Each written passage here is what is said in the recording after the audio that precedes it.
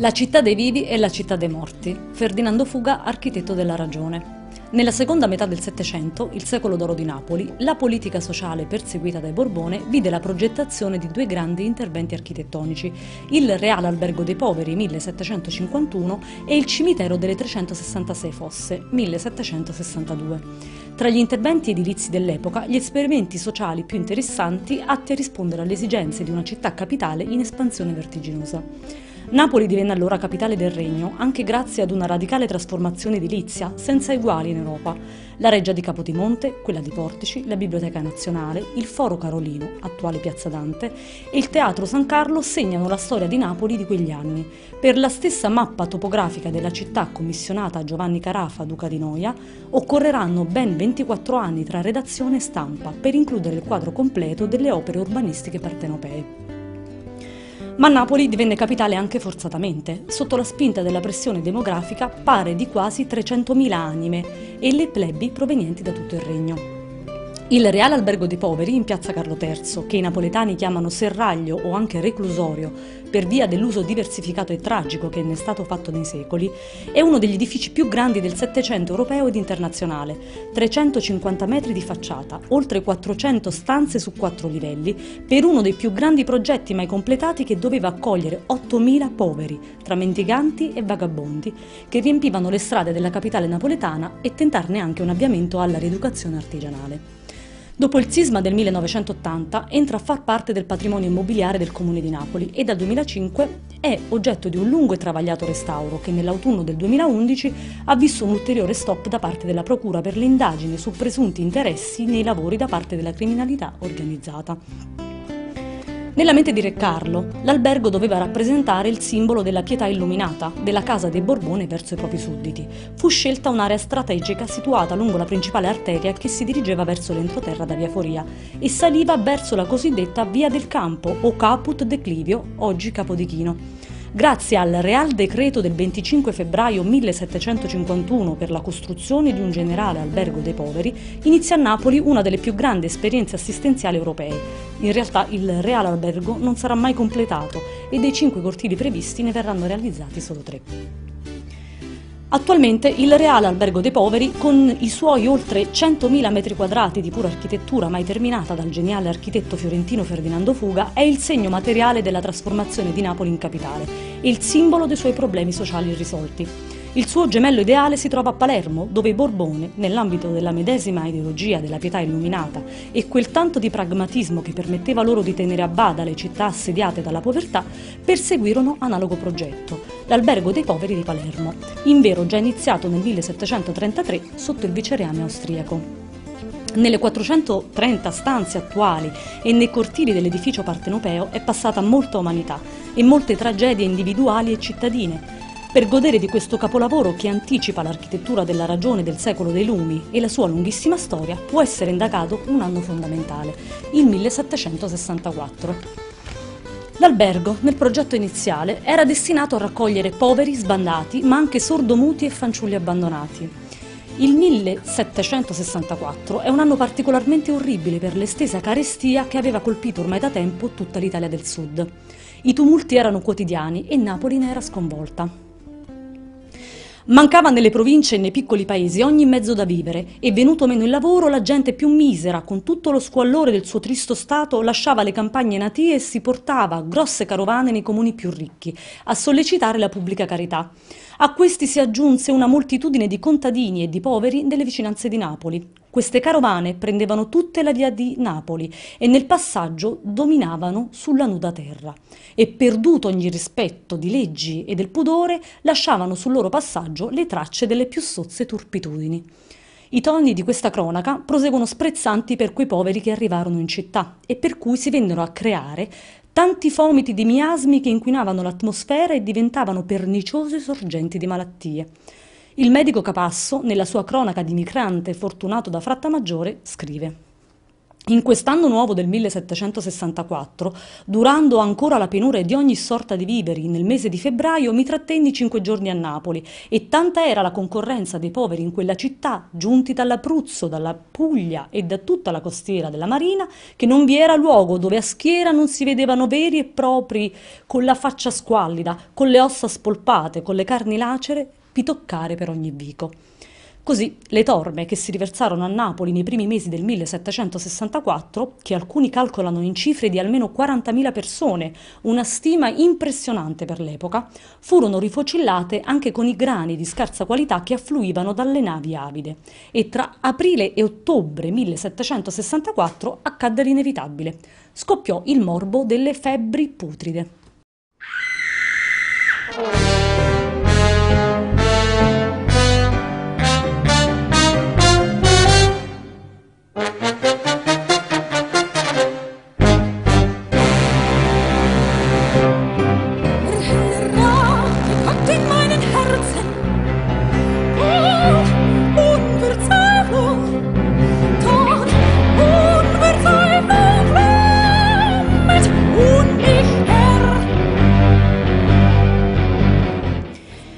È oggi possibile definire le febbri putride come un'epidemia di malnutrizione causata dalla carenza alimentare cronica e soprattutto dalla mancanza di vitamine, probabilmente scorbuto, beriberi, pellagra e diatesi emorragica. Si sparsero per la città uccidendo migliaia di vite, combinandosi alle precarie condizioni igienico-sanitarie.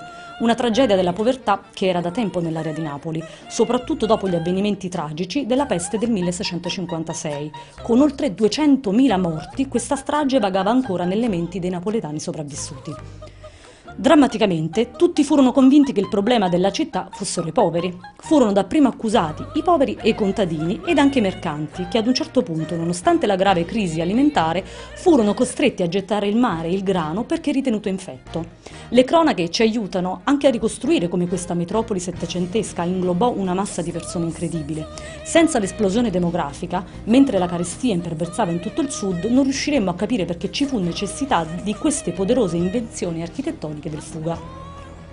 Si cercò subito, ma fuori tempo, ripararvi e mentre i poveri si chiudevano nel reclusorio e nel quartier di cavalleria al ponte della Maddalena si crearono commissioni di periti e medici per esaminare i grani, dei quali non meno di 120.000 tomoli furono gittati in mare. Il sovrano allora si spostò di corsa a Portici per paura del contagio e i nobili si ritirarono in controesodo nelle campagne. Molte novene e tridui furono pagati per le anime della città e la sua guarigione. Coi primi caldi primaverili però la città esplodeva di vivi e soprattutto ormai di morti. E qui compare nelle cronache la funzione centrale del Reale Albergo dei Poveri, o Conservatorio dei Poveri, o Reclusorio, e contemporaneamente l'uso del cimitero delle 366 fosse. Il grande edificio dell'Albergo dei Poveri, dopo la sua iniziale ideazione di in piena epidemia, non era certamente concluso, né lo sarebbe stato mai, ma venne utilizzato nel migliore dei modi allora possibile. Grazie al domenicano padre Gregorio Maria Rocco, i malati venivano lavati e medicati, le vesti bruciate, ma a quanto pare non appena il Pio Frate si distrasse un attimo ed il governo della città prese in mano la situazione, una parte dei mendicanti del Reale Albergo fu trasferita al quartier militare del Ponte della Maddalena, mentre gli incurabili e gli infermi del quartiere militare furono spostati nell'albergo. Così, nell'ospedale dell'Albergo dei Poveri, dagli iniziali 500 malati che poteva accogliere, una real commissione di dotti e medici decise che ve ne potevano essere ammassati ben 1700. Stipati malamente, contagiosi, vivi e cadaveri venivano così a stretto contatto. Era il 29 maggio del 1764. Mescolando i sani con i contagiati, la città fu definitivamente perduta. Nel giugno dello stesso anno ormai la situazione era catastrofica. La Regia Commissione consigliò tra l'altro di moltiplicare e spostare gli ospedali possibilmente fuori dalla città, nelle campagne lontane dai rioni abitati, di bruciare i vestiti dei malati che vi si raccoglievano dopo averli rasi e ripuliti sull'esempio di quanto fatto da padre Rocco nel reclusorio e di far seppellire i cadaveri immediatamente dopo il decesso. Furono allora aperti a Napoli altri 20 ospedali pertinenti agli ordini di ogni chiesa e luogo sacro e i gesuiti, già invisi alla monarchia, proposero di dare l'ostia per mezzo di una bacchetta pur di non avvicinarsi ai fedeli. Narrano le cronache che di conseguenza molti vivi furono sepolti tra i morti per sbaglio, perché incoscienti o gravemente malati, ma la città era devastata dalla paura e anche molti delitti riuscirono a mescolarsi nella tragedia collettiva. Le aree dei ricchi conventi di Posillipo, allora isolati dal nucleo principale della città antica di Napoli, vennero lasciate ai ricchi frati, senza essere toccati dalla tragedia, con l'eccezione dell'ospedale di Marina delle case di Donn'Anna. Come se non bastasse, l'area est della città dove era allocato il Reale Albergo e il quartier militare al Ponte della Maddalena divenne anche il deposito delle carcasse degli animali e vi fu costruito vicino persino il nuovo mattatoio. Animali e umani continuavano così a confluire in quell'area di confine. Nonostante altri decreti urgenti, molti cadaveri, specialmente quelli dei nobili e della borghesia ricca, venivano ancora sepolti in città nelle chiese anche se fu ordinato di seppellire a ben otto palmi da terra e si prese l'abitudine di gettare calce viva sulle salme, l'enorme numero dei decessi quotidiani non assicurava ormai alla città più possibilità di scampo. Le chiese esplodevano di cadaveri, fungendo da fulcri di epidemia esse stesse. La Commissione Regia propose allora persino un nuovo camposanto nell'area di Bagnoli, pur di tenere lontani i miasmi, ma non fu mai costruito. A Bagnoli comunque preesisteva già il vecchio cimitero, ma le sepolture erano malfatte e frettolose. E si lasciarono anche i cadaveri ai cani, talmente era il caos a prevalere in città che si dovette ordinare di controllare anche i becchini e i carrettieri. Se, nel bene e nel mare, il Reale Albergo funzionò da collettore dei poveri e degli ammalati, così come era nell'iniziale intenzione della Casa Regnante, il 1764 fu l'anno in cui l'enorme complesso entrò tragicamente nella storia della città partenopea, ammassando ai margini della città gran parte dei malati di febbri putride. Questa mastodontica architettura rimaneva l'unica speranza per una città ormai sommersa dai morti e dall'egoismo di molti. Poco distante dall'albergo dei poveri, due anni prima delle esplosioni delle febbri, venne progettato dallo stesso Fuga uno dei cimiteri più importanti di Napoli d'Italia, il cimitero delle 366 fosse.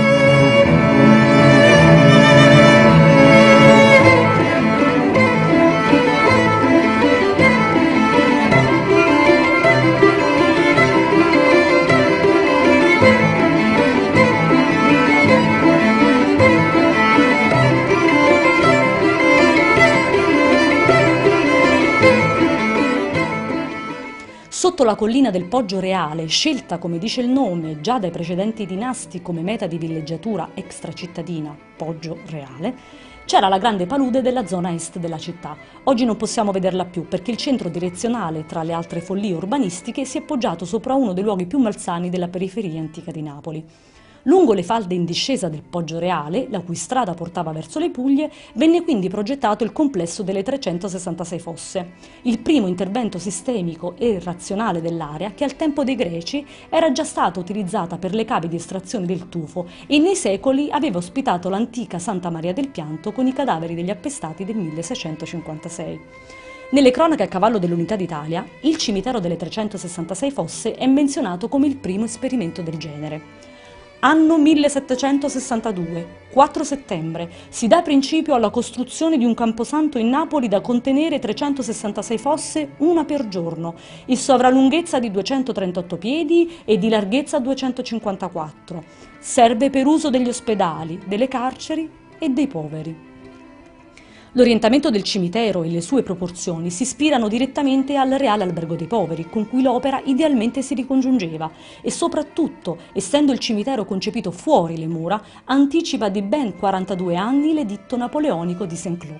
1804, che obbligò tutte le sepolture a spostarsi fuori dalle mura.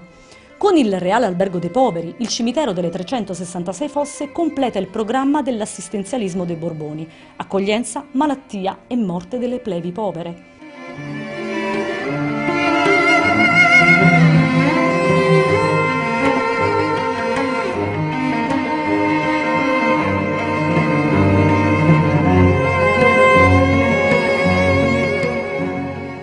Nel 1764 il cimitero delle 366 fosse, a due anni dall'inizio della sua progettazione, affidata a Ferdinando Fuga dal ministro Bernardo Tanucci, era completato per oltre la metà. Fu la soluzione al grave problema in quell'anno che esplodeva di moribondi. Nei sette mesi dell'epidemia delle febbri putride pare si contassero tra i 35 e i 40 mila morti in città, Quasi tutti quelli che vi erano affluiti durante gli anni della carestia, dunque, vi furono ricacciati da morte tragica.